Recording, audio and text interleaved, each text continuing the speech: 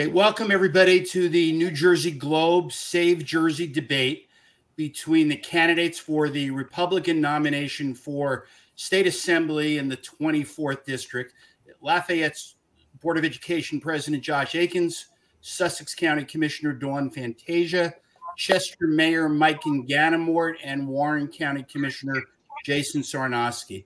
Uh, I thank all of you for participating in this this vital discussion of ideas that will enable voters to compare your views and decide who might best represent them in the legislature. I am David Wildstein, the editor of the New Jersey Globe. Uh, Matt Rooney, the editor of Save Jersey, is joining me today to moderate uh, this important debate to, to determine who's going to fill two open seats in the state legislature, in the state assembly. Uh, the candidates have received the rules of this debate. The questions have been prepared by Matt and me, uh, and they have not been shared with any of the candidates in advance. Uh, because there's four candidates from two slates, and since we want to cover as many issues as possible, each question will be opposed to, or, or will be posed to just one candidate from each ticket. Uh, each slate will have 60 seconds to answer. Uh, if a candidate's attacked, we'll offer an additional 30 seconds to the slate member who's answering uh, already, uh, and each ticket will get 90 seconds for opening and closing. I'll respectfully, respectfully the candidates to uh, uh, to stick to their allotted time. Uh, I'll raise my hand with about 15 seconds remaining. That'll be a signal to wrap up your answer. If a candidate goes too long, I'll just I'll just hold my hand up. If that doesn't work, then I'll interrupt. And we've got a lot of ground to cover, so please uh, let's try to keep 60 seconds to 60 seconds. Uh, just quickly, the role that Matt and I uh, want to play tonight is to be the moderator. Uh, we are not here to take sides or to offer our opinions. So we're going to do exactly that. We're going to moderate and we'll look to each of you to make sure that what your opponent uh, what your opponent uh, says is based on fact. Uh, we conducted a coin toss before the debate that went to the the Aikens Sarnoski ticket. Uh, so Commissioner Fantasia will uh, give the first opening statement on behalf of her slate, uh, and then Commissioner uh, Sarn, uh, I'm sorry, uh, Mr. Aikens will give the second, and then we'll go into questions. so, Commissioner, we'll start with you. Thank you. good evening. And thank you to Matt and Save Jersey and David and New Jersey Globe for sponsoring and moderating our debate tonight. Uh, my running mate, Mike Inganamort, and I are looking forward to talking about our proven conservative records and why we are the best candidates to carry on the legacy of Senator Steve Oroho and Assemblyman Hal Wirths. I'll take this opportunity to note that both of our opponents sought out Senator Oroho's endorsement, praised his conservative legacy in Trenton, and wanted his endorsement desperately. He instead chose to endorse me and Mike. So did our current Senate running mate and Senator to be, Parker Space. Parker has consistently been one of the most conservative legislators in Trenton for a decade, and we're honored to run on his ticket. Together, we'll ensure that the 24th Legislative District has the most conservative representation in Trenton. My name is Dawn Fantasia, and I'm a middle school principal for a New Jersey public charter school. I'm a current two term Sussex County Commissioner and a former Franklin Borough Council President, and I'm the mother of three. My running mate, Mike Inganamort, is a former aide to Republican Congressman Scott Garrett and the current mayor of Chester Township. He and his wife, Lauren, have three beautiful young daughters. And together, we'll fight to repeal the radical woke school curriculum and protect our children, mandate voter ID at the polls to restore election integrity, end Murphy's liberal sanctuary state policies, defend our Second Amendment rights, and vote to protect the lives of unborn babies oppose wasteful spending to get our fair share from Trenton to District 24 in this often forgotten corner of Northwestern New Jersey, crack down on crime and illegal drugs, and stand with our police. Thank you, and we look forward to a spirited debate. Thank you. We'll go to Mr. Aikens. Good evening, Matt and Dave. Uh, thank you for having us tonight. We really do appreciate it and giving us a chance to address the voters of the 24th District. My name is Josh Aikens, and this is my running mate, Jason Sarnoski. Jason is a father first and foremost. That's what he is is near and dear to his heart. He's an engineer, a Warren County commissioner, and has been a champion for the taxpayer for many years. Jason has consistently cut taxes, reduced spending, and eliminated debt in Warren County. Jason is a proven conservative who has protected our constitutional rights, worked to create safer communities, and fought for communities rights in our schools to protect children. I am Josh Aikens. I'm a Lafayette School I'm Board member. I'm, I'm an executive director of the Sussex County Republican Committee. I have held the line on our school budget for many years. During COVID, we were one of the few school districts in the entire state that had in person learning right away. I have been a grassroots advocate for many years as well, leading an organization called Arise NJ. This has been uh, phenomenal since we've seen hundreds of school board candidates uh, win win their elections based upon the efforts of our organization. Jason and I are running to reduce waste, spending, and lower and lower our taxes, protect our parents and the rights of our schools, and protect our families and our communities. We are real proven conservatives in this race. We have shown that we can we're more than just talking points. This election is about the future of the Republican Party, not about any sort of identity. Do what we don't want any insiders. We're the outside candidates. We're here for the voters, not for endorsements. And that's all that matters to us. So thank you. And we look forward to the rest of this debate. Thank you. And we'll start with Matt's going to ask a question of uh, Mr. Aikens, and and Mayor Inganamort will uh, will respond. Thank you, David, and thank you, candidates, for joining us. Uh, Mr. Aikens, Governor Murphy's radical sex ed standards that were recently implemented have stirred passions and debate in all 21 counties. What role, if any, do you believe public schools have in teaching children about topics including sexual orientation. And if public schools do have a role in this arena, what is the appropriate age to introduce these concepts? Thank you, Matt. That, uh, that question is actually quite appropriate since I had two of the people that I'm helping down in Roxbury Township on Fox tonight. They're being sued for questioning the books that are being published in their library what has happened they have taken sex ed and they have completely bastardized what what was meant originally learning about sex ed and learning about hygiene and the human body was meant for the grades and the ages where that was actually happening what is going on now is they've pushed that down so low that what they're going to do is they're going to uh, fundamentally change the youth of america and fundamentally change the youth of the, the states so what we're looking for, what we have been looking for, what I've been talking to parents across this entire state is they want each school to make their own choices. They don't want this stuff to be forced upon their own districts in areas and sections of this state where it's not important, where it's not an issue. I mean, I have two very young boys right now, and I'll tell you right now, I, I, this is not even something that's on their mind. I know you're a father as well, Matt, as is Mike we have young children, and this is not something that they need to be learning at this moment. High school, this is a conversation where schools can be teaching sex ed, but the what is happening now is it's not even just sex ed, right? Some of these books and some of the topics and discussions that are being pushed have nothing to do with literacy, have nothing to do with health. It has everything to do with an agenda which will completely reshape the American public. Thank you. Mayor Inganamort. Thank you, Matt, and thank you, David. It's a pleasure to be with you all tonight. Um, Phil Murphy's extreme sex ed curriculum is totally inappropriate. We have jumped the shark if we can shoehorn this salacious material into our classrooms because we think it argue or we argue that it has some shred of educational value.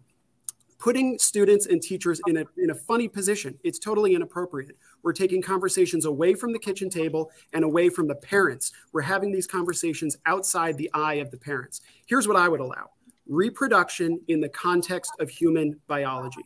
Anything above and beyond that is politics. It does not belong in the classroom. Stop it with the genders. Stop conveying the message that gender is optional or a choice to be made in a classroom of all places. And stop it with mixing boys and girls in sports. Thank you. Uh, my question, my first question is going to be for uh, Commissioner Fantasia. Mr. Aikens will uh, will respond to it. Uh, all four candidates in this race are pro-life, but as as you all well know, there's varying degrees to limits. In Florida, Governor DeSantis has signed a, a six week abortion ban. Senator Ed Durr has a bill that sets New Jersey's ban at 12 weeks. Congressman Chris Smith uh, has proposed a federal ban at 15 weeks. Congressman Kean last year uh, said he would ban abortion at 20 weeks. And my question to you is, is where are you on that span of, of, uh, of zero to, to the end of a pregnancy? Thank you for the question. Um, well, I believe that uh, life begins at conception. Uh, I've been endorsed by New Jersey Right to Life before. Um, what I can say is what New Jersey has is one of the most egregious Wild West approaches to abortion. On October 8th, 2020, the Reproductive Freedom Act was signed by Governor Murphy. And as a commissioner on the Sussex County Commissioner Board, we immediately fired off a resolution in opposition to it. Um, not only does it stay along the same lines uh, prior, where parental notification is not necessary, it pushed it, it doubled down. So now uh, girls can have abortions uh, by medical providers who are not even licensed physicians. Uh, we are actually offering free abortions those who travel here from out of state. So New Jersey's in a sad spot. We could not even get across the line uh, the pain capable act that was the 20 week ban. So, what Florida Governor Ron DeSantis is doing at six weeks is logical to me. It's at the point of heartbeat. Um, and I think we would have a better chance moving the needle that way. I personally do believe, though, that life does, be- does begin at conception. Thank you. Mr. Aiken. Yeah, I, I too believe that life begin conception with without any exceptions outside of that. Um, my running mate right here has been endorsed for the New Jersey Right to Life as recent as 2022. So you know we are very conservative in that regard. Um, I do believe that because of the state of New Jersey, with the Democrats having a stronghold in both the Senate and the Assembly, if we can move the needle back, it is certainly the step in the right direction. However, it's not all the way there because you know we are we are it's infanticide in my opinion. And what governor murphy has done is completely egregious. It's against the constitution. It is against every belief that we have as a judeo-christian society. And right now uh, you know we, we can't we can't continue along this path. So you know anything that we could do to move the needle backwards would be a step in the right direction. But i i too believe that you know life begins at conception and there's no there's no exception to that. And it, you know so you know it would have been nice though to know that you know our commissioners in this county our commissioners in every other county did more than just resolutions. You know we had there was protests everywhere. I didn't see a lot of them out there and i wish that we saw a lot more protests happening. Thank you this next question is going to start with Commissioner Sarnoski and then Commissioner Fantasia, you'll follow up. In high tax New Jersey, public sector unions like the NJEA and the CWA wield extraordinary influence in our elections and in the halls of power. Back in 2011, Wisconsin, under then Governor Scott Walker, moved to tackle that state's broken finances by dramatically limiting collective bargaining between local governments and their public employee unions. Would New Jersey be wise to pursue similar reforms at this juncture in our own history? Thank you, Matt. Uh, thank you for uh, asking that question. You know, that's a great question. In Warren County, we've always negotiated fairly where uh, public employee unions. And that's made the difference between our employees being able to live with a living wage, be able to feed their families, be able to afford to this high tax state, and them living on welfare. Unfortunately, in other counties, we don't see counties negotiating fairly. We don't see us, you know, uh, our, our elected officials working to make sure that our blue collar workers have a fair living wage. Um, and so I believe we have to make sure that look, look what's going on right now at Rutgers. We're paying uh, some, you know, athletic people, uh, coaches, millions of dollars, and the teachers are striking. We need fair negotiating tactics with our employee unions. But at the same time, we can't give control up to special interests. We've seen what happens with the Integ- Election Integrity Act. That is going to now give dark money a lot of strength and a lot of negotiating power in back rooms with elected officials. And they're only going to get stronger. And now unions will have more negotiating power. So we have to have people that'll stand up for both the taxpayer and the working class citizen. And that's what I'll do. Thank you. Commissioner Fantasia.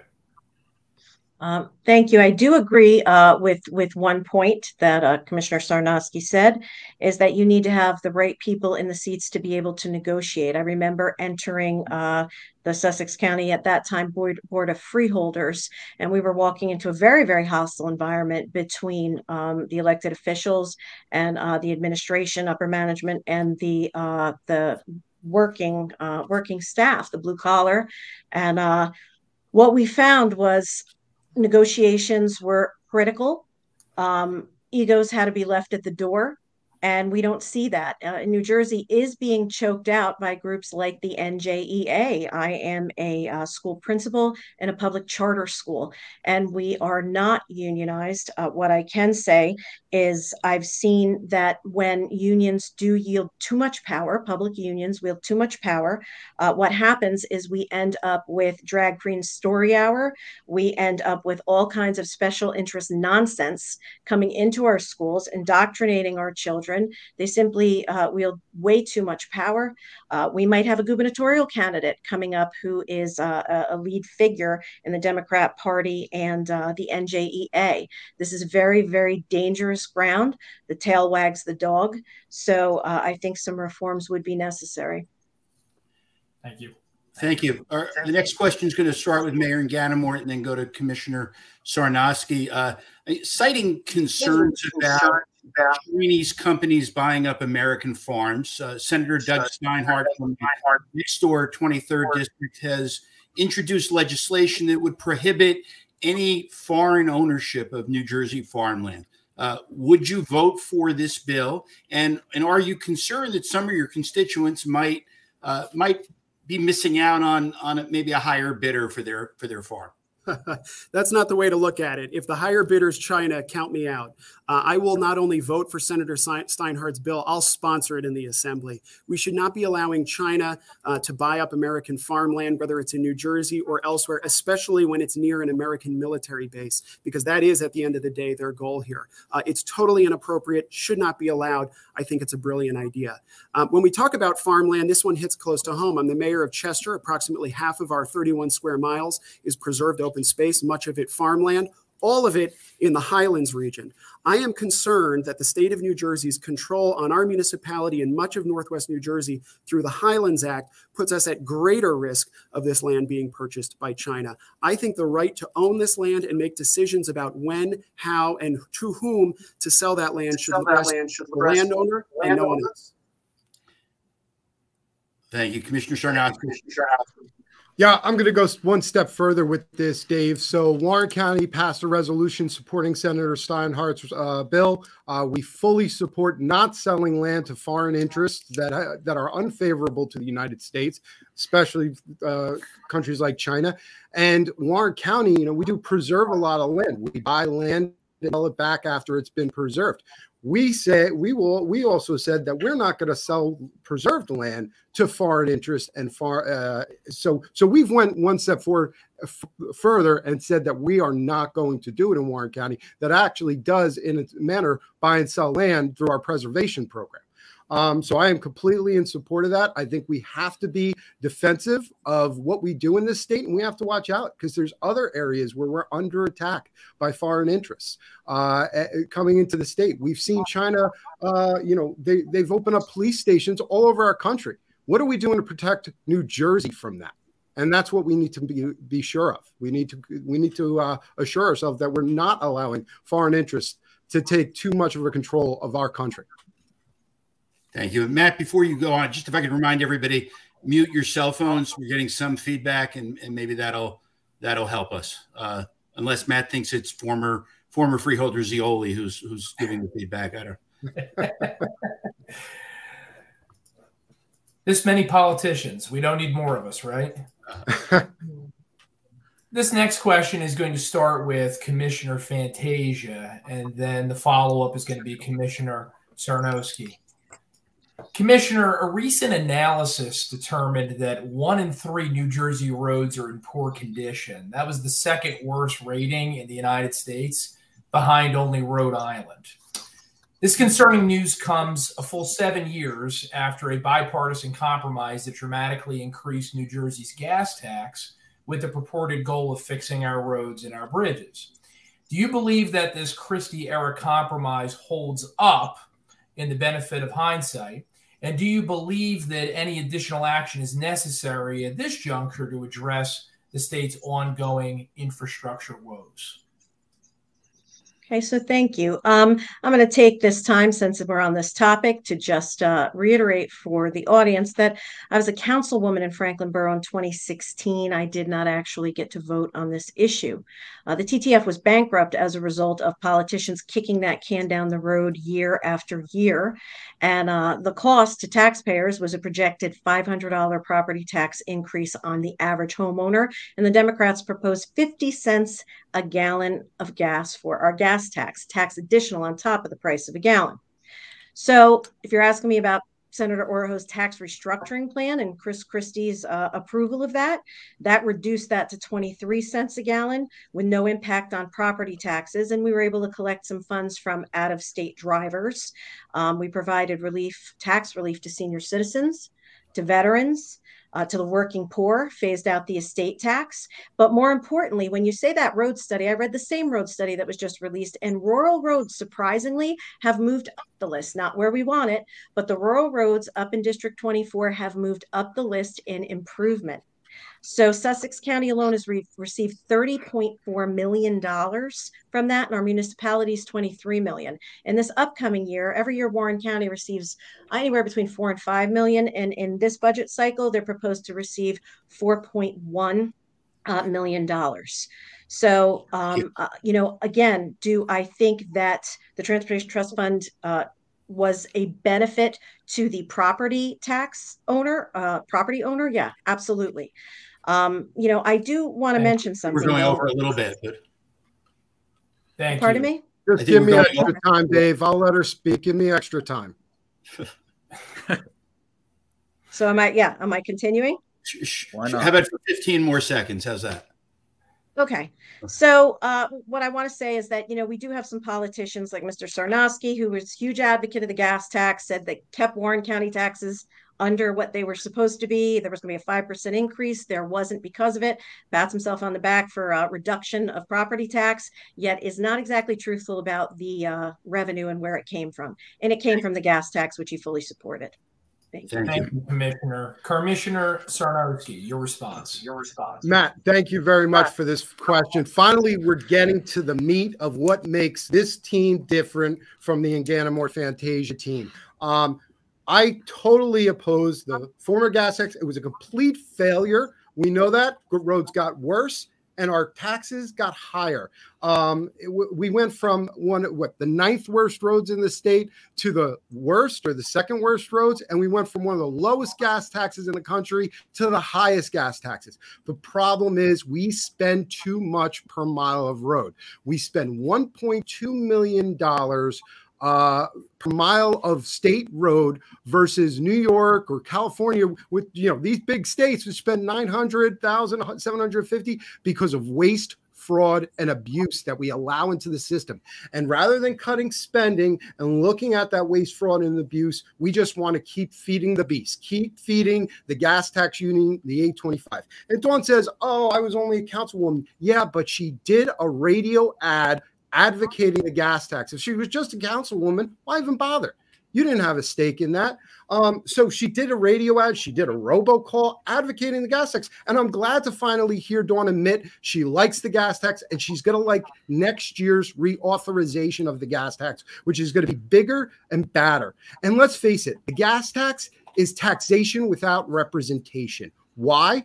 Because the gas tax doesn't need a vote by the legislature to go up. It could go up without any representative voting for it. That is just bad news. And what are we looking at in the future when we don't have gas? Because because electric vehicles, black boxes in our cars, the track we go, so that we they know mile by mile how many miles we travel in New Jersey. Now it's not going to happen for out of state cars because how are you going to do that? But in state, that's what's going to happen.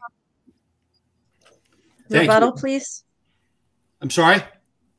30 seconds, please. Rebuttal. Yeah, yeah, that's what we said. You could have 30 seconds since since it involved you, and then we'll go back to Mr. Sarnoski.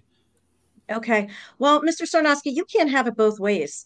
You wanted to run with Senator Oroho, even endorsed him. And if that was the case, would we be calling you gas tax Jason right now? Because I guarantee your mouth would be shut.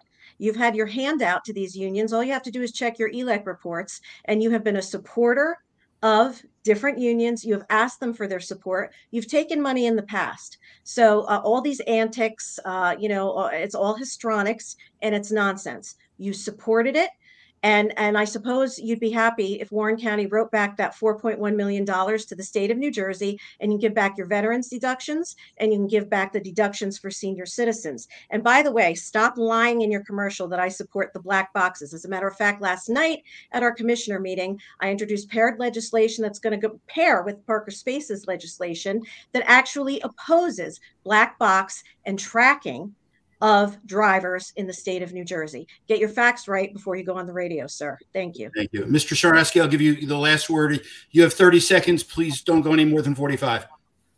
Thank you, Dawn. Or thank you, uh, Dave. So Dawn's completely wrong here. Just because I didn't fight, uh, you know, Steve Oroho was who was our Senate pre- uh, minority leader at the t- or Senate leader at the time, because I was, you know, because we used that tax as it was meant to be used. It was used to reduce taxes for the taxpayers. And you know what? Even if we didn't have it, I would have found another way to reduce taxes because that's what I do in Warren County.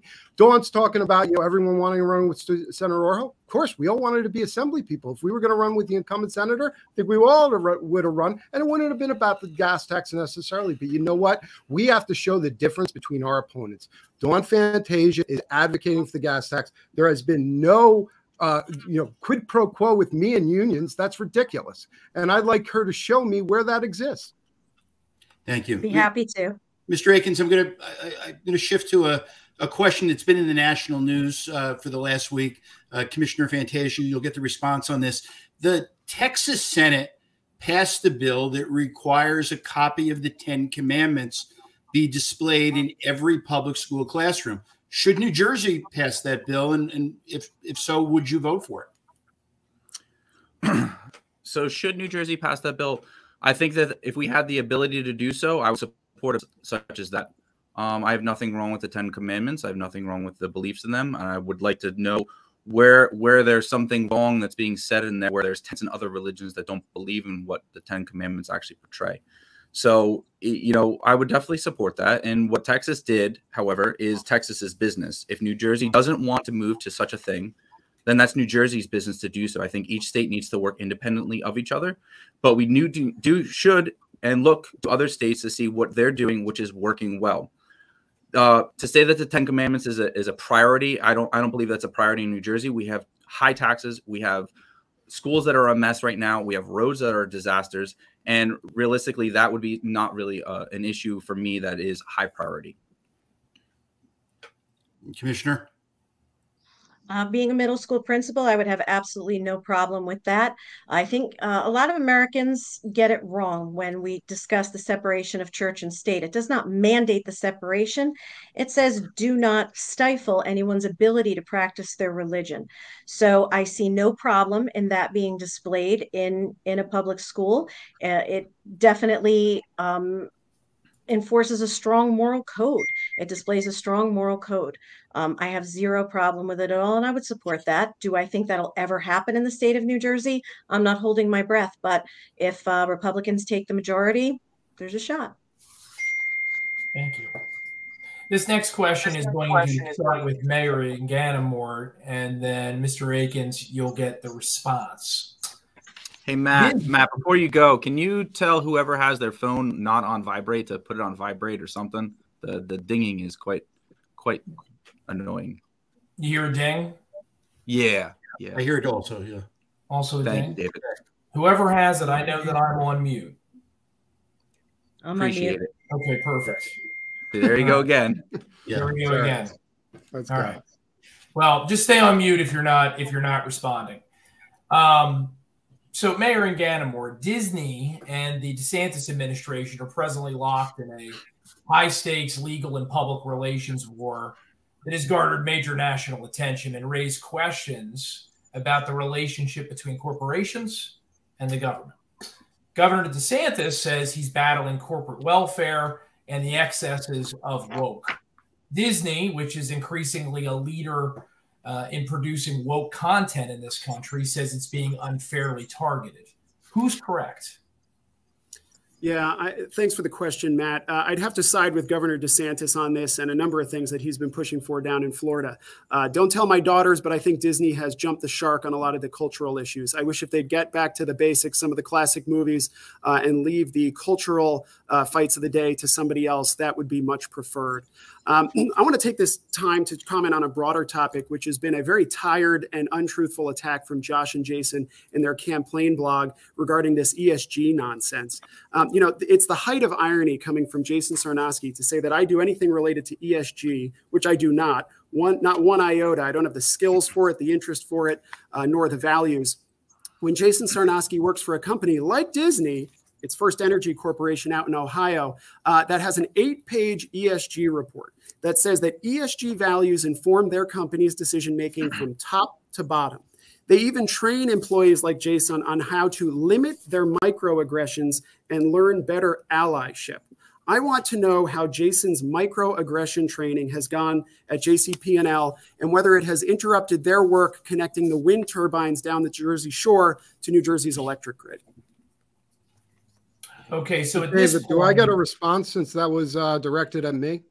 Uh, the, so the way we outlined it in the in the debate rules is is uh, this will be Mr. Aikens's time to respond, so he he can respond on your behalf.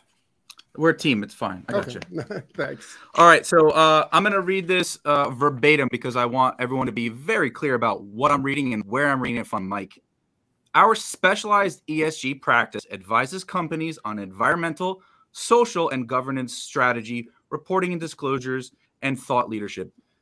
there are two partners listed on this company Matthew Barnes and Michael Inganamort. That's ASG partnership.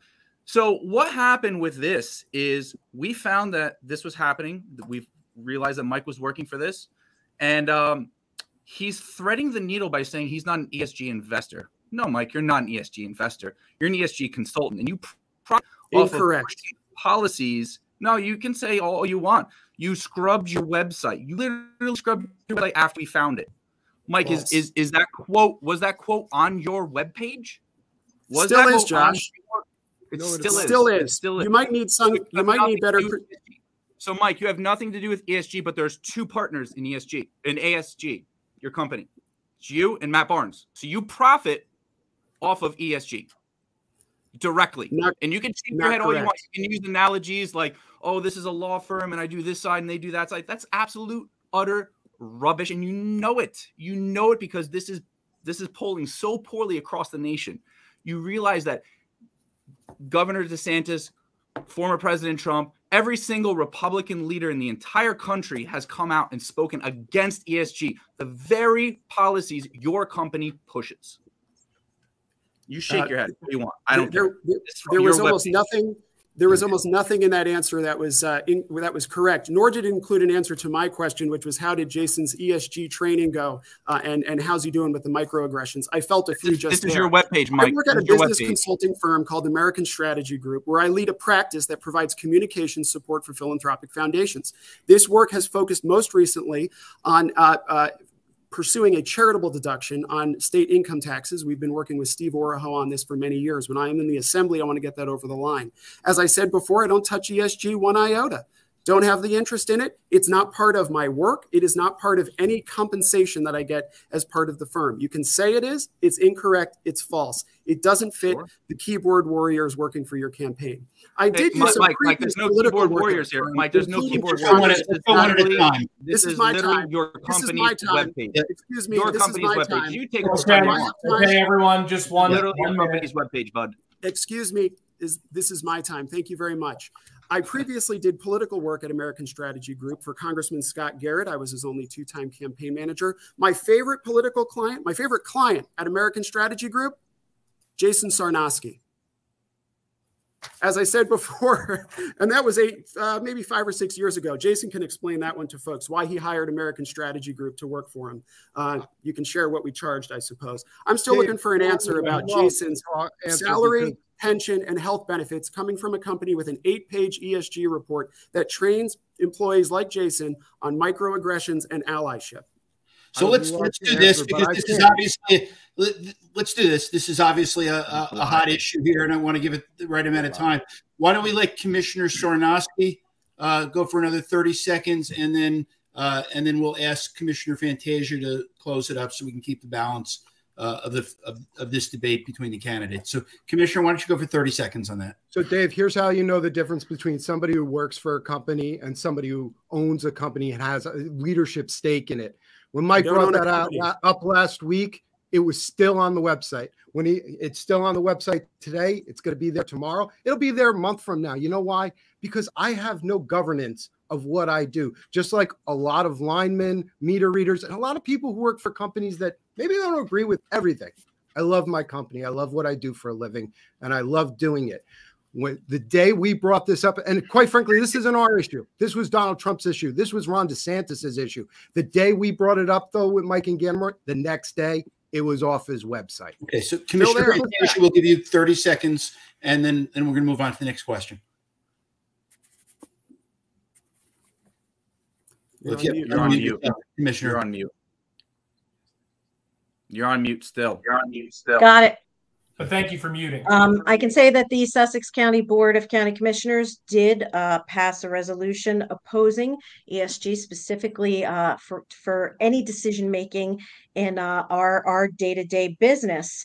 Uh, but I would like to say, speaking of scrubbing websites, I do know that there were some tweaks uh, made to further clarify on uh, the Mike's company's website. But I'm very interested to know where the Arise NJ website went. Seems when we started asking questions about finances for Arise NJ that Josh is so proud of, you can't find hide nor hair of Arise NJ uh, to go through. So um, not only is something changed, it's just gone. So, okay. question gonna, we want to know. Yeah, we have to let, let's let Mr. Aikens go. 30 seconds, sure. please. Around 30 15 seconds. seconds. Uh, okay. I resigned in December, so I don't know December, what happened to that organization. There was a board at the time.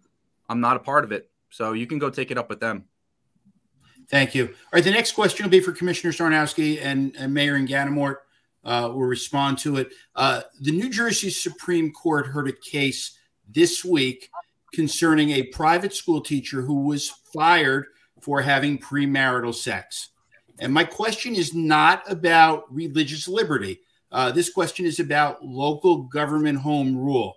Uh, would you support a decision uh, by a majority of elected public school board members that would set a policy, a local policy, to prohibit teachers from having premarital sex? So, Commissioner, we'll start with you. Thank you, David. Um, no, I don't think so. I think this is a matter of individual rights and individual liberty, and you have the right to do what you want with your body. Uh, I'm going to pr- bring this to vaccines. Um, you know, we didn't mandate vaccines in Warren County. Why? You have a right to do what you want with your body uh, when it comes to that, those kinds of things. I may not agree with your choices. I may not like your choices. I don't want government to pay for your choices, but you have those right to those choices. And so this gets back to individually individual liberty your right to life, liberty, and the pursuit of happiness. Your right to uh, practice religion as you wish. Um, you know, and uh, you know our individual liberties. So I don't think it's right for any government to tell another person, uh, you know, in in that case, uh, how they can act, as long as it's not violating the rights of individuals within you know other individuals. And i think that's where the difference is in our schools when you see the lgbtq agenda and you see the uh you, you know the health and human uh, uh the health and uh, reproductive uh standards uh education there you're infiltrating your beliefs onto me. That's not right and i don't believe in that. Thank you. Mayor Yeah, I'm not so much interested what teachers are doing in their own bedroom. I'm far more interested uh, to know what they're doing in the classroom. Uh, that's why when I'm in the assembly, I will introduce the Parents' Bill of Rights. It enshrines in the law that parents and guardians have a fundamental right to direct the education of their child. Other states have this. North Carolina passed it uh, recently. New Jersey should have it as well. It does four things. It affirms that parents have a right to a summary of the curriculum in the schools, a right to review that curriculum, a right to review the textbooks and other assigned materials, and a right to opt their child out of objectionable, objectionable curriculum. Senator Bucco is the sponsor of this bill in the Senate, and he's supporting Parker Space, Dawn Fantasia, and Mike Inganamort because he knows we'll sponsor that same bill in the Assembly. Thank you. This next question is for Mr. Aikens, and then Commissioner Fantasia will have the opportunity to respond. Uh, the Garden State hosts, as we know, odd year legislative elections with the espoused goal of prioritizing state issues. But election 2024's first GOP primary debate is only a few months away. Federal politics is going to inevitably impact our 2023 elections. So, with that in mind, are you prepared to support Donald Trump's comeback bid, or do you believe it's time to consider a new Republican standard bearer? so yeah, uh, federal government, federal government. Um, okay, so I, I will support uh, former President Trump and his reelection bid. I am liking some of the new candidates that I'm hearing. I think he has inspired a lot of new Republican leaders throughout, not just in the federal level, but throughout New Jersey itself. And because of that, we're hearing a lot more conservative values being espoused in public forum. And and so for that, I support him in his effort. Okay, thank you, Commissioner Fantasia. Thank you. Um, I thought that Donald Trump uh, actually was the best president that we've had in modern times when it came to policy, specifically foreign policy. Um, I did support him in 2016 and 2020. Um, I would be open to supporting him again, but there are other candidates in the field who are strong and emerging. So I'll be interested to see how it develops. But the top two frontrunners, I would be very happy uh, with either of them if they were the nominee. I can say it's refreshing to hear Josh Aiken say that he is sticking with Team R as a Republican. We do know that in 2008, he did vote for Barack Obama, which was a little bit disheartening to find out from, uh, you know, from a candidate who I thought was uh, somewhat more on the conservative side. But election integrity is going to be an important one this time. Uh, we also do know that, you know, while we, we have situations where sometimes you're registered in two states, for instance, Mr. Aikens was a registered Democrat in Pennsylvania for over 10 years while he was a registered Republican here in New Jersey. So, you know, I do take a little pause to that. I think we really need to take a look at um, our election integrity, clean those voter rolls. I'd be a little remiss to send somebody to the state assembly who wants to clean that up, who actually was part of the problem for over a decade. I, I, I guess I'm going to address this, Matt. You have 30 seconds. Okay. Uh, yeah, I was 24 that year. It's a weird thing is I had my first Bud Light that year. So, uh, to add to this accusation that I was a registered Democrat in Pennsylvania for 10 years, I never lived in Pennsylvania. So, I don't know what to tell you about that one. So, the, the difference between myself and Commissioner Fantasia is I may have made a mistake one time. However, I'm not trying to push Barack Obama type of policies throughout the state of New Jersey. Thank you. Thanks. Uh, next question, I'll start with Commissioner Fantasia. Commissioner Sarnoski will uh, uh, will get the the, the second uh, half of this. Uh, what do you believe the role of state government should be? uh, in New Jersey. And, and do you think it's time for a conversation about eliminating county government in the state? Well, thank you. That's a very, very broad question. Um, well, you know, with uh, the ruling um, where the Supreme Court returned uh, the decision to for abortion to the states, I think that was just another powerful reminder of states' rights. Um, as far as eliminating um, county government, no, I don't believe we should eliminate county government. And here's why I've uh, had the experience both at the municipal level and at the county level.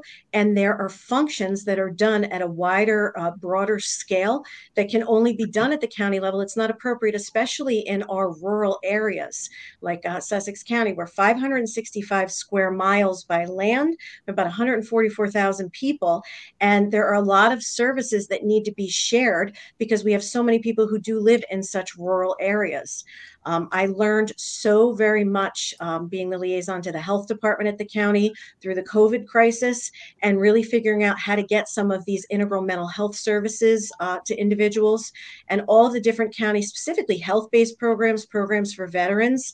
Uh, it's not sustainable to have run at a municipal level. And we've seen how the state health department absolutely bungled COVID 19 to the point where, you know, we found 17 bodies stacked in a nursing home in Sussex County and Andover Township. I do not trust the state of New Jersey to manage that. More control needs to be given over to the counties, quite frankly, to be able to best serve and manage their population with proper funding. Thank you. Commissioner Sarnoski. Yeah, the, the role of government should absolutely be very limited. And I think that's always been the purpose of government. And it needs to be limited and follow the rule, the rights and the uh, and the law of people and who people want to see represent them. We have a representative democracy. That's what the rule of government is. It's to provide for the life, liberty, and pursuit of happiness, um, not to overstep. And quite frankly, we've constantly overstepped in this state to violate those rights and, and the right of our life, liberty, and the pursuit of happiness.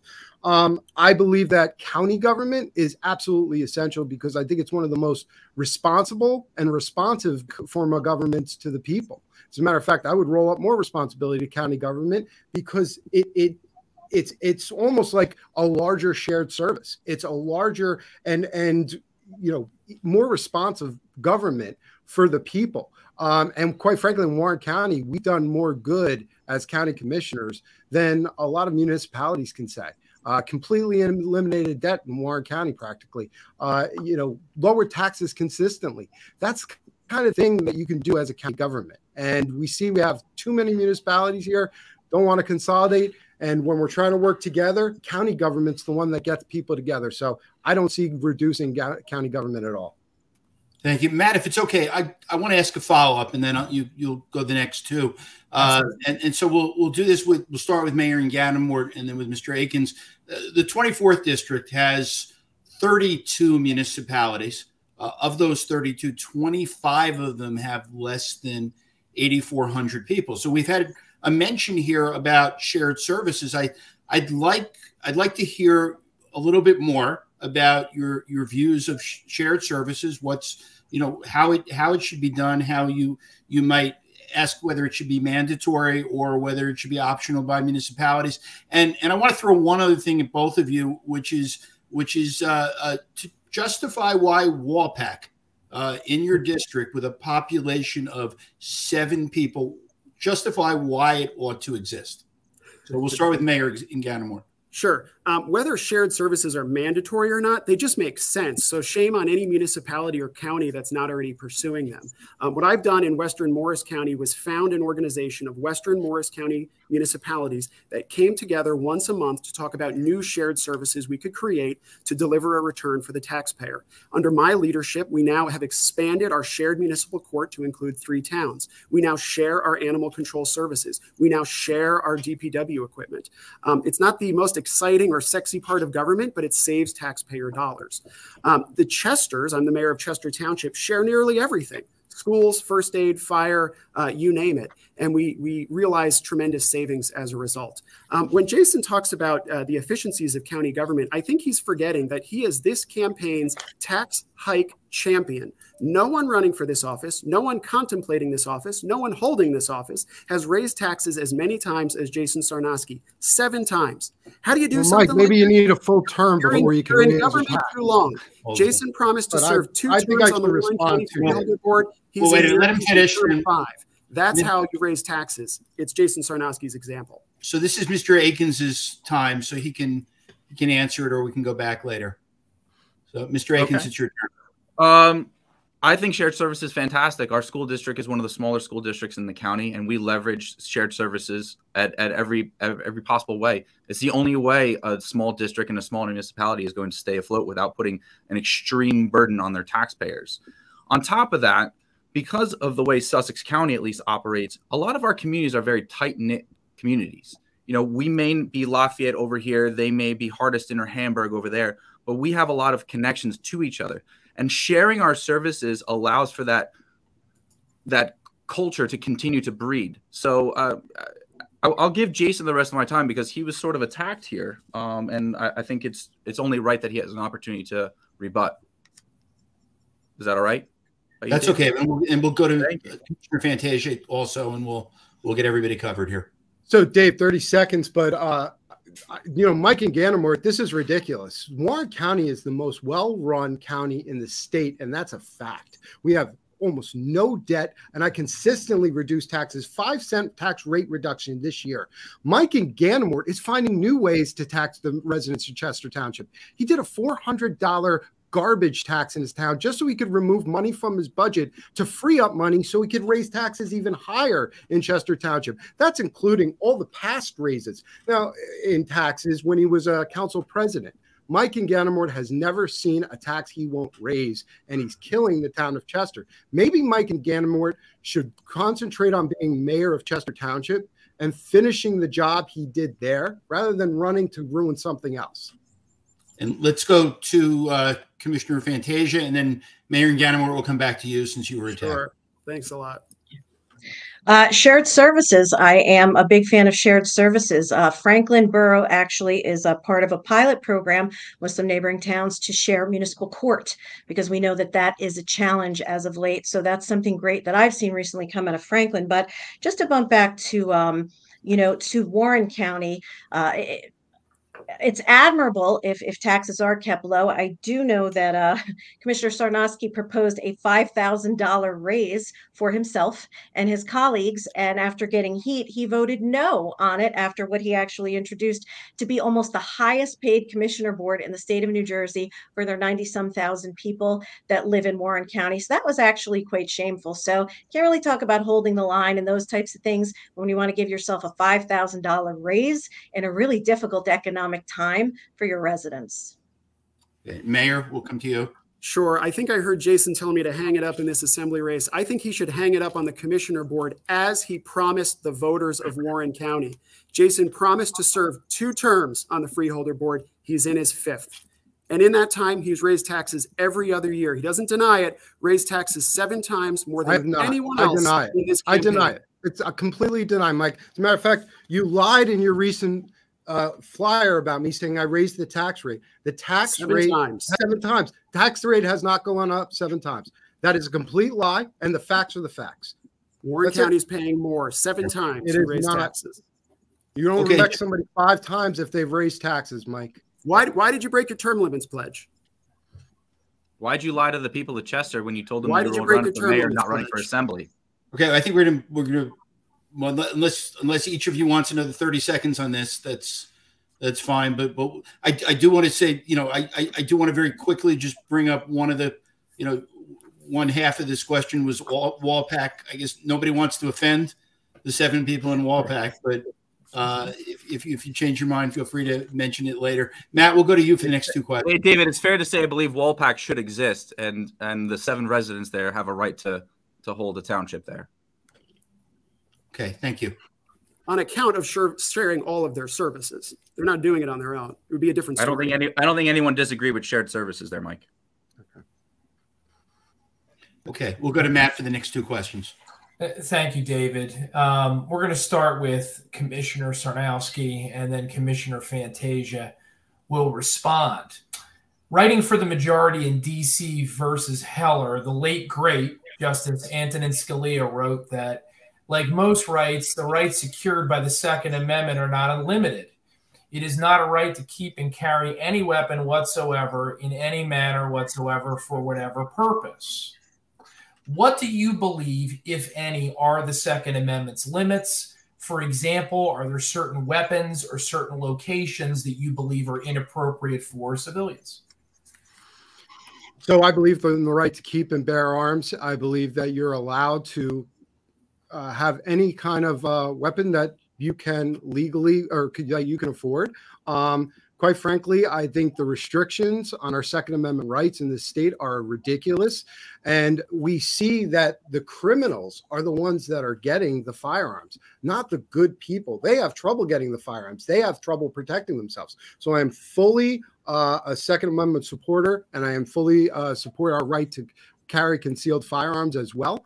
Uh, I have helped residents of Warren County not only get their concealed carry permits, but when the whole debacle was going on with the judges and the, uh, the, the prosecutors and trying to get those applications pushed through, I helped push those through uh, through those applications. Then they went to the police departments, so I helped when when they had uh, applications that had restrictions on them and they didn't ca- and they weren't able to carry them over i'm helping people get those restrictions lifted on the their concealed carry. I think new jersey is insane with the uh, amount of restrictions we put on our second amendment rights and i would be a fully uh, i would be a full uh, supporter of all second amendment rights and uh, i'm sure i get a 100% score from the nra as an assembly person. Commissioner fantasia Thank you for the question. Um, as a uh, lifetime NRA member endorsed by the Second Amendment Society and a victim of a gun crime, uh, I believe that the New Jersey laws uh, masquerade under the guise of gun safety and they fly in the face of that. We have things like the red flag laws that no longer align with probable cause, and now it's just good cause to seize guns. There's an insane magazine capacity ban that does nothing but make people feel good. There's discriminatory fees now that Murphy year after year tried to hammer through. I talked about it in 2019 and and people weren't listening and bam he actually got it through.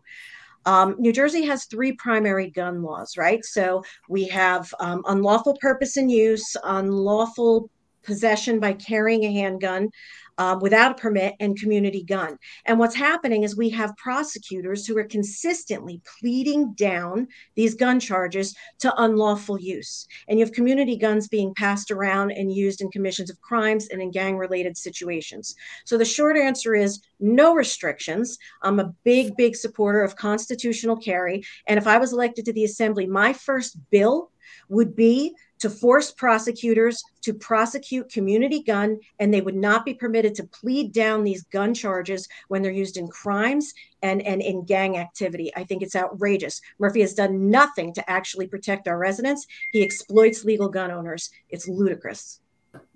You're not going to find a difference here, man. Thank you, Commissioner. Um, we're going to continue with Commissioner Fantasia here for the next question, and then uh, Mr. Aikens will have the follow up. The percentage of New Jersey homeschool students increased 400% during the 2020 2021 school year. Pandemic policies, and most recently, the highly sexualized curriculum um, uh, put into place by Governor Murphy, seem to have been the straws that broke the the camel's back for many Garden State parents when it comes to public school attendance. My question for you My is: Is it time to abandon the concept of a brick and mortar public school system and adopt a statewide, no restrictions, go where you want to go voucher system? I am a huge, huge supporter of school choice. Uh, working again in a public charter school, I've worked with the uh, New Jersey Public Charter Schools Association uh, to advocate for parental choice. Now, what that means is not pitting charter necessarily against public, it's choosing what's best for your child. And that just may be homeschooling. That may be a magnet school, a renaissance school, uh, could be charter or traditional public. I say we do not abandon uh, traditional brick and mortar schools because some students learn better that way. I know from my own students and going through uh, the COVID restrictions, the hybrid learning, we actually had a handful of students who flour- flourished in an online model. Uh, a fair amount of the students really did regress for not having that contact with one another, that day to day, that interactions, that hands on type of experience in a school. So, again, I believe that the parents make the choice and the dollars should follow the student. The money should not go to a district, dollars follow the student. So if the student goes elsewhere, the money follows the student. Thank you, Commissioner. Mr. Aikens. Yeah, Matt. Um, I completely agree that I think the dollars should follow the student. I, I I'm often oftentimes hearing stories of students that from parents that are trapped in these districts and they, they just want out. They feel like it's a it's a jail sentence because of their because of their zip code. Um, and so, but I also agree that we shouldn't just abandon public schools altogether. I actually think that public schools should be afford the ability to compete a little bit more with charter and private schools. Um, you know, you know, maybe move to you know a subject based type of school they can thrive more. You know, this township over here has a wonderful public edu-, edu um, public school system that thrives in in engineering. This one over there does mathematics. That one does you know something else. I think that there's different ways to skin this cat and covid actually opened the doors for that you know we saw a lot of pods happening you know on my school board a few years ago i actually had two mothers that were homeschool mothers and at first, I was kind of apprehensive to to to get in, you know to find out what was going on. But when I started talking to them and finding out what they were doing, it was a very hands-on learning situation that our public schools sort of have gone away from, not because they want to, but because they can't afford it. Thank you. Thanks. Uh, so the next question will start with Mr. Aikens and and go to Mayor Inganamort. Uh, there are some people who feel the need to transition from one gender to another. Uh, and in some cases, that involves a medical procedure. Uh, do you believe that these procedures should be covered by health insurance? Uh, for children, no. Um, I, I, don't believe in that whatsoever. Uh, I, I think that children should be this whole situation of gender I, there's two genders honestly there's male and female and that's it in my opinion and what you are born with is who you are um, too often, we are letting progressive policies push an agenda on our children, and it is confusing them. They're getting inundated with messages from media that this is the cool thing, this is the edgy thing to do. And what's happening to them is we're putting chemicals or they're cutting things off or they're adding things on that is irreversible. It's doing untold damage to them. And we can see um, even off of the, a bunch of the studies that the suicide rates for a lot of these folks remain the same and it's extremely high. So there's something else that's going on where we need to address these children um, before they get to that point. And the fact that this is happening at you know at an acceptable rate in society today is uh, baffling to me. I've still yet been able to wrap my head around the the origin of why this is happening. However, we're going down a very, very steep slope, and I don't know if we can claw ourselves back. Thank you. And uh, Mayor? Uh, you know, any child or adult for that matter who is confused about their gender, um, deserves our prayers and our well wishes and a conversation with their family, trusted loved ones, and perhaps faith leaders. Um, no, I do not believe that uh, the state of New Jersey or health insurers should be paying for uh, any of these types of surgeries. And as Josh said, that's especially true, true of children. Uh, I uh, would be very concerned about putting young kids on a path to um, effectively mutilate their bodies in a permanent way. You do hear from uh, young people who've grown up and regret that enormously. It's a, it's a tragic situation, and I do not believe that the state uh, or medical providers should be involved in that respect. Worse yet, I read on, uh, I heard on 1015 today that the state of New Jersey is going to be paying for gender transition for inmates in New Jersey prisons. I was waiting for the question what we're going to cut in the state budget. I'd start right there. That's an absurd expense. New Jersey taxpayers should not be on the hook for gender reassignment for convicted felons. Thank you. And we're going to stick with Mayor Inganamort for this next question. And then Commissioner Sarnoski, you're going to have the opportunity to respond. Warehouse sprawl is an increasingly popular topic at public meetings around the state. Uh, you hope to represent one of New Jersey's more rural, and I'm sure you won't disagree, uh, aesthetically attractive districts. It's a beautiful part of our state. Is warehouse sprawl and overdevelopment generally a problem? And if so, what could you do from Trenton to help combat it? Yeah, great question, Matt. Uh, it certainly is a problem. I grew up in Sussex County, uh, love the charm of Sussex County, the wide open spaces. It's part of the reason why I live in Chester today. It reminds me a whole heck of a lot of Sussex County. As I said earlier in the debate, half of our uh, 31 square miles are preserved open space. I want to keep it that way. I like to see our rolling hills. I like to see our farmland. I don't particularly care to see a warehouse there. Um, how do we go about that? Um, you know, there's the carrot and the stick. Let me speak about the carrot. I think we should incentivize and promote small business in this state once again. I think about the struggling downtowns in Newton or Andover Borough or even Chester Borough. I think what those small businesses, primarily retail uh, shops, could use is some tax relief from the state of New Jersey. I think we should make the first $50,000 of small business income tax free in the state of New Jersey. Imagine what that would do for our small businesses in this district's 32 towns.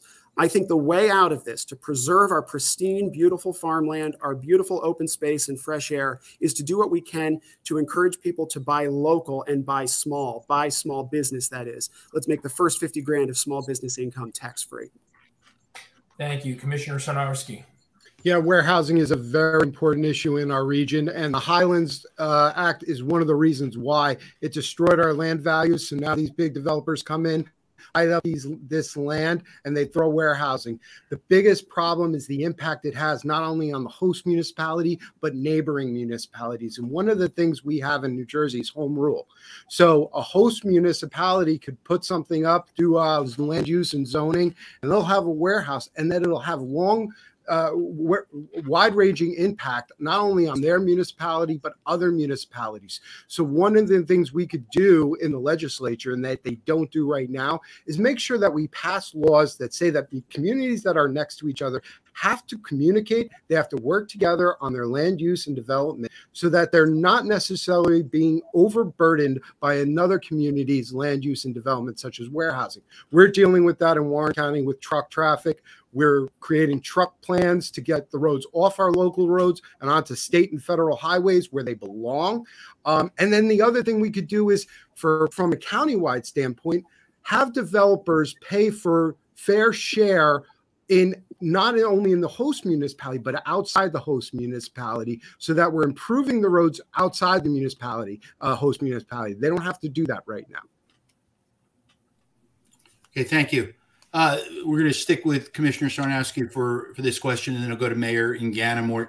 Uh, uh, this is this is a state issue assemblyman john mckeon has introduced legislation uh, that would codify the U.S. Supreme Court's loving decision into state law. Uh, do you support or oppose that bill? You're going to have to be uh, more specific. I'm not familiar. I'm sorry. Sure. So, so the Supreme Court's loving decision uh, uh, uh legalized bi, uh, biracial marriage in the ah. United States, and uh, and there is a bill right now in the New Jersey State Assembly that is seeking to codify that decision into state law personally, I believe in the marriage of one man, one woman, um, and you know that could be any man and any woman. Um, and I think marriage is a religious thing where uh, the government comes in is recognizing that two people have decided to share their lives together and then sharing those governmental uh, rights um, and should not be imposed upon. But as far as the you know the codifying of what is marriage, uh, why is government getting involved in that? That's a personal choice. Once again, government is overstepping constantly into our religious liberties, our social liberties, to tell us how to act, how to believe, how to uh, you know live our social life. And quite frankly, I don't think that's what we need to do. We are a good, just society. We care about our fellow man. We are not prejudiced. We are not racist. We are not uh, any of the isms or isks that uh, I like to say that the woke left like to put on us whenever we don't agree with their woke agenda. Um, so I don't see the need to codify anything. Thank you, Mayor. Um, I have no problem with biracial marriage, and I'm not sure anything else needs to be said about it. Okay, thank you. And we're we're actually coming coming toward the end of the debate. We've gone through the 16 questions. I, I do want to, if it's okay with with with Matt, I just I just want to ask one thing that I had intent hoped to have asked earlier. Uh, if the four of you are fortunate enough to to serve in the state assembly next year, uh, uh, the minority leader, uh, the current minority leader, John DiMaio, uh, he'll either uh, assumingly run for speaker or minority leader. He had a close election uh, last time, I, I, just want to quickly ask all four yes or no on a commitment for DiMaio for the top leadership position. So we'll start with Mayor Inganamort. Uh, I think John DiMaio does a good job. I'd be happy to support him for Speaker. And let's go to Mr. Aikens and then Mr. Sarnoski since you're, you're sharing, sharing a screen. I think I'm a yes on that. Yeah, absolutely. I've been a friend of John's for a long time, uh, and uh, you know I would support John. And Commissioner Fantasia. Unequivocally, 100%. What an amazing thing to have our uh, assembly leader be from Warren County and have our current Senate leader from Sussex County. We have brought things back up north, and that's where I'd like to see them stay. Thank you. So, winner clearly is John DiMaio. He's got a Uh, big Correct. smile tonight. Got two votes out of the 24th district, no matter what. Uh, I'm going to uh, turn this over to Matt. I, I know he's got a cleanup question, and then and then we'll go to closing. So we also referenced this question at the beginning of the debate. This is an opportunity if your running mate said anything that you want to disagree with or feel you need to disagree with. Uh, this is this is your opportunity. So um, I'm working from the right side of my screen to the left, Commissioner Fantasia. Well, if I am uh, limited to say there is anything that Mayor Inganamort said that I disagree with, I would have to tell you no, there's not one thing I disagree with. I'm proud of him. I think that we are aligned. I think that, um, again, Parker Space, myself, and Mike Inganamort, we make one hell of a team, and we're going to be proud to represent the 24th District. Mayor Inganamort. Yeah, I completely agree. There's a reason Dawn Fantasia, Parker Space, and I are running together with the support of Senator Oroho, Assemblyman Wirths, Senator Bucco, Assemblyman Bur- Bergen, the New Jersey Second Amendment Society, the New Jersey Outdoor Alliance, uh, and the support of grassroots leaders up and down this district. Uh, we have the same conservative values. Commissioner Sarnoski. No, I'm proud to be running with uh, real conservative Josh Aikens, uh, who has done such a good job getting school board members elected all around the state. He's a real, genuine, good person, a family man who just wants to make a difference. He doesn't care about politics. Uh, he just wants to make a difference for the people of New Jersey. Sweet. Thank That you. sweet. And Mr. Aikens. No, I absolutely am so proud to run with Jason. The man gives every bit of effort in everything that he does. He's given Warren County so much of his time, so much of his his heart and soul, and I know he's going to do the same in the assembly when we win. Okay, we're ending on a harmonious note here. So Well we're going to go to closing, we're going to go to closing statements, and uh, Mayor Inganamort's going to give the the first close, and that'll be followed by Mr. Aikens. Great. Thank you so much, David and Matt. You know, since Parker Space, Dawn Fantasia, and I formed a ticket a few months ago, we've been on the receiving end of daily vicious attacks from Josh, Jason, and their campaign blog, attacking our physical appearance, our jobs, and even our family members. Today, they attacked Dawn for a personal crisis in her life and then called us racists later in the day. People in this district are shocked at how low they have gone. Now we know why. Josh and Jason have some things they don't want to talk about. Josh is an Obama Biden supporter, a former registered Democrat. Said on a recent survey he's so so on the NRA and bragged last month about electing Democrats in New Jersey. He even voted for Phil Murphy's plan that put preschoolers in masks. Jason Sarnoski is on both sides of every issue. He says he doesn't like ESG, but works for a company that preaches it. They're even the ones connecting the wind turbines down the shore. He calls for cutting taxes, but raised them seven times in Warren County, more than anyone else in this race. He says he's against the gas tax, but takes all the money. He pledged to serve two terms. He's in his fifth. He rails against the establishment, but he's been serving in government longer than any of us. It turns out the candidates vote that are telling voters they are really conservative are really frauds. In contrast, Parker Space, Dawn Fantasia, and Mike Inganamort, we offer the real thing a bold and conservative plan to get New Jersey back on track. Repeal the extreme sex ed standards, cut taxes across the board, oppose the wasteful spending, defend our constitutional rights, protect the unborn, and stand with our police. There is a better way for New Jersey. But to get there, we need conservative Republicans who tell the truth. That's Parker Space, Dawn Fantasia, and Mike Inganamort. We ask for your vote. Thank you. And we'll go to uh, Commissioner Sarnoski. Thank you, David. Elections are ma- about making clear difference between yourself and your opponents. And I think Josh and I have done that today. We are the real conservatives. And where Mike and Dawn keep calling us the liars, They're the ones lying about their record and trying to hide it. They've done it constantly by changing their websites, by deleting their Twitter uh, likes to hide the fact that they were never Trumpers. Mike deleted a tweet from 2016 in October when Donald Trump was our president elect, saying that he was the biggest threat to our Republican uh, Party. Uh, this is what they do. They hide from you uh, because they don't want you to know that that Dawn is a gas tax uh, Dawn. She wants to raise, she wants to continue the gas tax. She's constantly raised taxes. Not only that, she complains that she talks about my budget. She has nowhere to go with my budget. She should stick with her own budget. When I say her own budget, I don't mean Sussex County. I mean her personal budget because she's being sued by multiple credit card companies for not paying her own debt. So Dawn's got to get her own house in order before she starts talking about Warren County. She's deeply entrenched with special interest groups like the 825. Mayor Mike Inganamort constantly has raised taxes in Chester Township. He's got a brand new $400 ga- uh, garbage tax, and he's significantly raising taxes this year. Not only that, they both stood with groups that are pushing the garbage in our schools. Dawn was sworn in to office by Tom Prol, who is the founder of Garden State Equality, who authored the garbage curriculum in our schools. Two year ago, years ago, Mike uh, was the deciding vote on flying the pride flag in Chester Township. Today, we're fighting in Sparta to make sure that only the American flag is flown in our government buildings. Josh and I are the real tax cutting, parental, uh, parent uh, supporting children protecting conservatives in this rate, race. We don't re represent the establishment, we represent the people. And it, the establishment in Trenton has forgotten you. We won't. So go to Aikens uh, for New Jersey.com and Sarnoski for Assembly.com uh, to learn more about me and Josh. We're asking for your vote June 6th. We deserve it, guys. Thank you.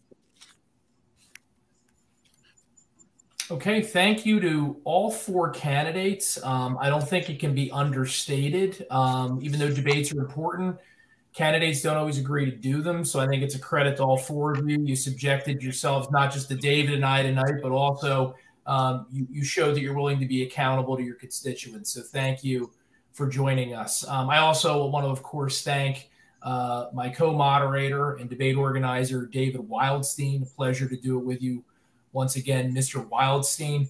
Um, and um, being the election guru you are, you'll correct me if I get these dates wrong, but I think they're important to repeat. Remember, there are three ways to vote in New Jersey this year. You can vote in person on June 6th. You can vote early from June 2nd to June 4th. Vote by mail. Uh, you can do that. Deadline to request it by mail is May 30th, and then in person on June 5th. So no excuses to not show up.